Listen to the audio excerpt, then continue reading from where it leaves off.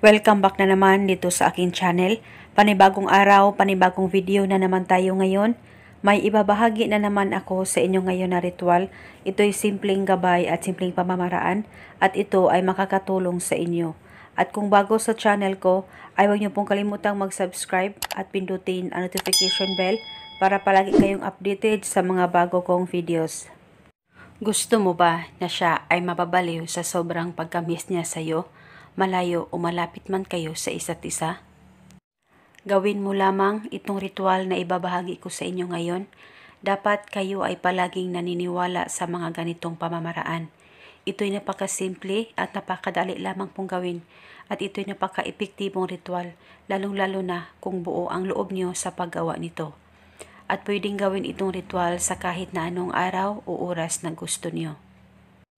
Ang gagawin mo lamang ay kumuha ka lamang ng papel at panulat at isulat mo sa papel ang pangalan at apelido ng target ng tatlong beses. At pagkatapos mo nang masulat ito, hawakan mo itong papel, ilapit ito sa dibdib mo, mag-focus ka, mag-concentrate, ipikit ang mga mata mo at banggitin mo lamang ang spell na ito. Pangalan at apelido ikaw ay mababaliw sa sobrang pagkamis mo sa akin. Banggitin mo lamang ito ng tatlong beses.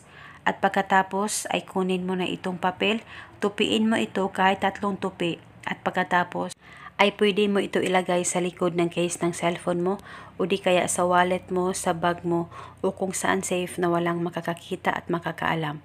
At itago mo lamang ito pang matagalan, pwede ito itago hanggang kailan mo gusto. At kung gusto mo na itong itapon, sunugin mo lamang ito. At hindi na po ito kailangang bulungan araw-araw. Basta itago mo lamang itong papel na sinulatan mo ng kanyang pangalan at apelido. At tiyak siya ay mababaliw sa sobrang pagkamis niya sa iyo, malayo o malapit man kayo sa isa't isa. At eto muna sa ngayon, maraming salamat po sa panunood. May God bless.